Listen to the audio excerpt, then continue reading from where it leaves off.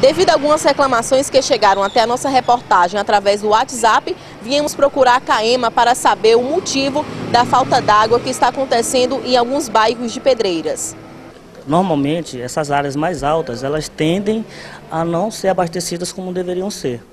Sendo assim, nesse período de estiagem, a gente tem uma séria dificuldade em estar abastecendo essas áreas. Com isso, a gente chegou, teve a intervenção com relação à própria diretoria da CAEMA, para estar tá colocando o carro-pipa à disposição dessas áreas que estão sendo afetadas pela estiagem. Esse é o motivo? É, um dos principais motivos são esses. Porque a gente se depara com pontos altos, né? E no período de estiagem a gente sente essa dificuldade de estar tá abastecendo essas áreas. A solução seria o carro-pipa? Por enquanto sim, né? A gente está colocando o carro à disposição para estar tá suprindo a necessidade dessas pessoas que estão tendo um abastecimento comprometido por conta dessa estiagem. As pessoas que desejam solicitar o carro-pipa, como fazem? Não, a gente tem um cronograma de abastecimento, certo? A gente chega, faz é, é, todo um cronograma com relação às partes que foram abastecidas durante a semana.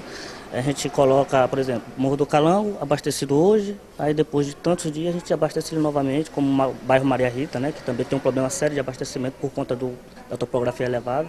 E assim vai sendo é, é, é, monitorado de acordo com os pontos elevados, que são vários pontos, né? Então a gente tem que fazer um cronograma adequado para estar abastecendo todo mundo a contento.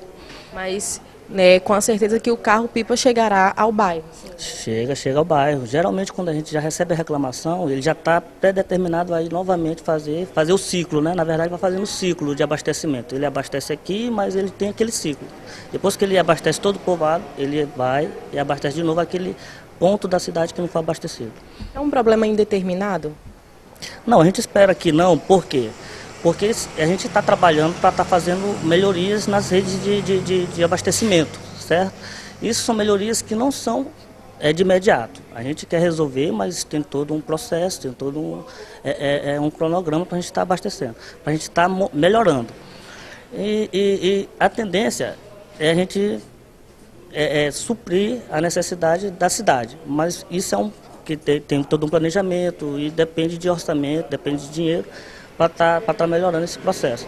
Mas a gente está fazendo o possível para estar tá suprindo de acordo com a possibilidade com o carro-pipa. Né?